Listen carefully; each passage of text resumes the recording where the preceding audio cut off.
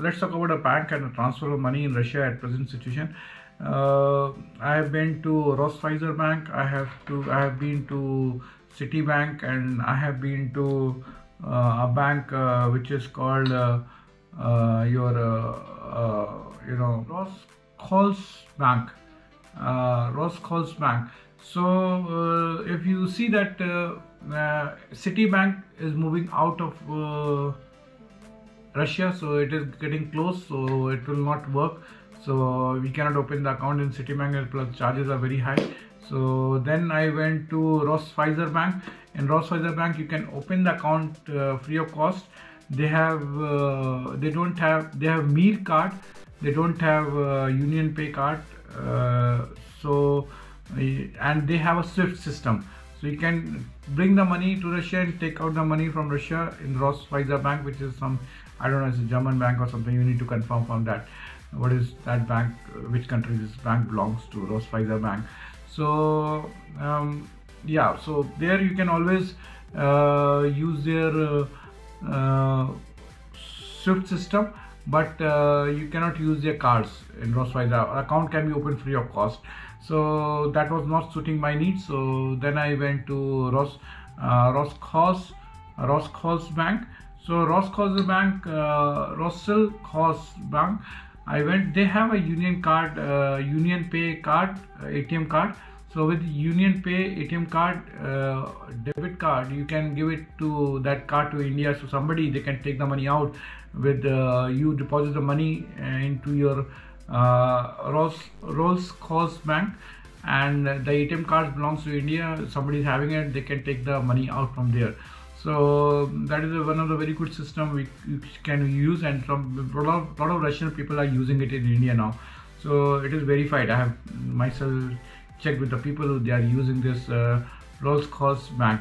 But when I went to Rolls Bank, they asked me to open the account with a 13,800 rubles or something like that. They have asked me to open account with the Union Pay. So this money is just because they are charging because they are giving a Union Pay card if you are asking for a Mir card so it will be free of cost no. So uh, that won't be a problem.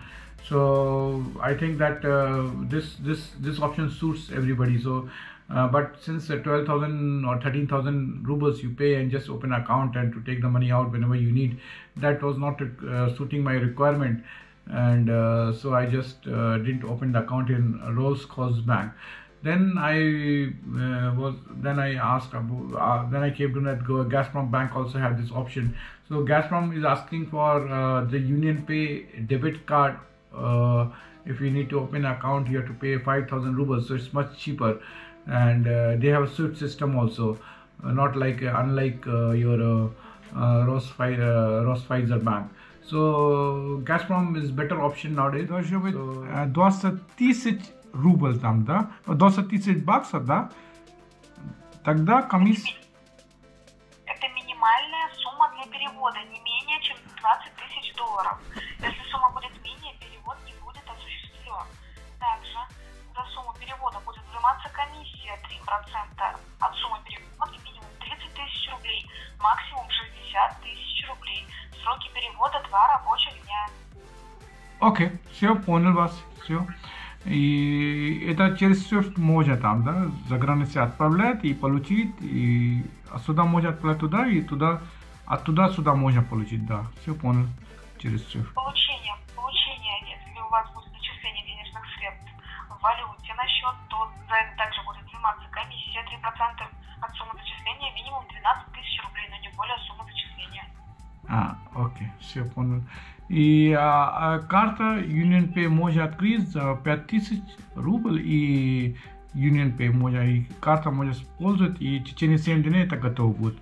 Вот так, да? Я правильно понял вас. Все, я понял вас. Спасибо. Угу.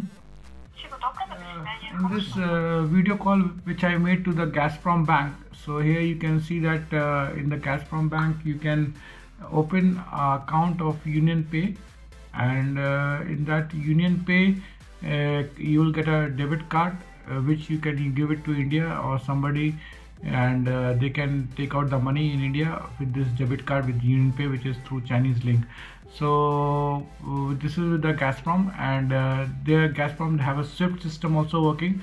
So in that Swift system you can transfer the money uh, to Russia and from Russia and the minimum amount should be 20,000 uh, $20,000 and the commission will be around 3% uh, and this the minimum commission they will charge is uh, 30,000 rubles and maximum it can be uh, 60,000 rubles. So that can be the commission range uh, which you need to confirm by yourself. So this is what I heard from the telephone calls which I have the information I wanted to share with you now let us so you can uh, uh, get a swift system. You can get a union pay for 5000 rupees and you can give this card to india uh, gazprom card to india and just ask somebody to take out the money from india.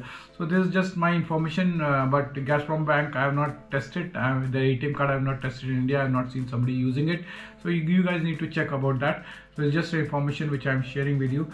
Mm, and uh, yeah like latestly i just came to know some information that uh, rupee rupee ruble trade is which is going on. So, so there is one uh, there is one organization uh, which is like uh, Federation of Indian Export Organization. So they are conducting some seminar on 13th of October 2022, and uh, at 11 o'clock Zoom meeting is there. Some they they have a tie up with the Yes Bank and uh, Petersburg Social Commercial Bank (PSCB) Bank.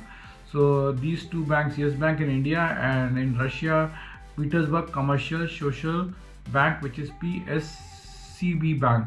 So they have uh, MOUs uh, signed, so they can facilitate the rupee ruble uh, bilateral trade between India and Russia. So now this is going actively.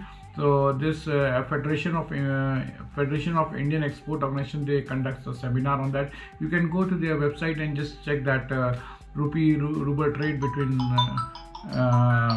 them and that will be good for you guys so this is just information to share with you thank you guys cheers hopefully